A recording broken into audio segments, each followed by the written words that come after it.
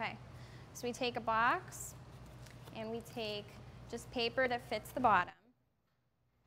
And I'm gonna use a little bit of tape just to adhere it.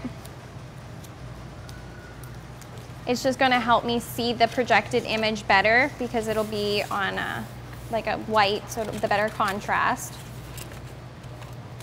So I'll stick that inside. I'm gonna cut the sides off the box.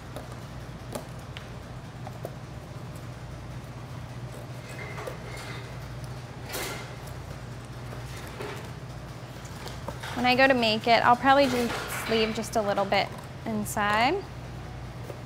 Make a cut there, and a cut there.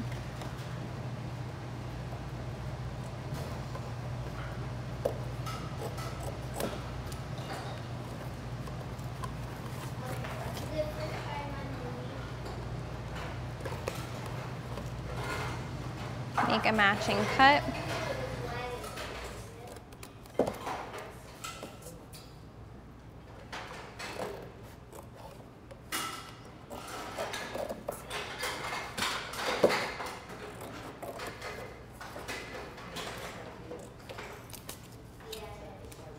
And I'll take a little bit of tape.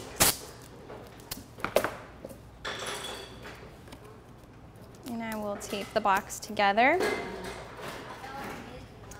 And you're gonna take a piece of aluminum foil, cover up the hole.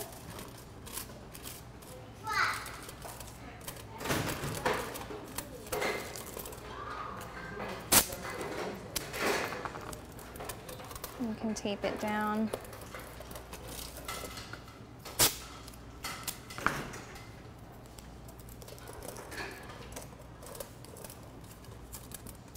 Then you'll take a toothpick or a pin and you'll just punch a small hole right in the center.